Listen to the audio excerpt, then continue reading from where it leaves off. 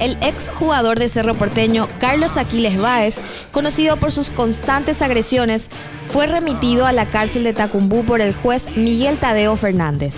El Barra Brava se mantuvo prófugo de la justicia por varios días tras atacar a pedradas a un colectivo. Incluso se burló de las autoridades vía redes sociales. La imputación y el pedido de detención solicitados por el fiscal Emilio Fuster datan del 2 de marzo pasado. Existen indicios, tenemos sospecha, razón por la cual hemos eh, presentado la de imputación por incitar a cometer hechos punibles. Aquiles también soporta otro proceso por realizar declaraciones amenazantes y ofensivas mediante nota de voz a través del sistema de mensajería instantánea WhatsApp contra un simpatizante del Club Olimpia.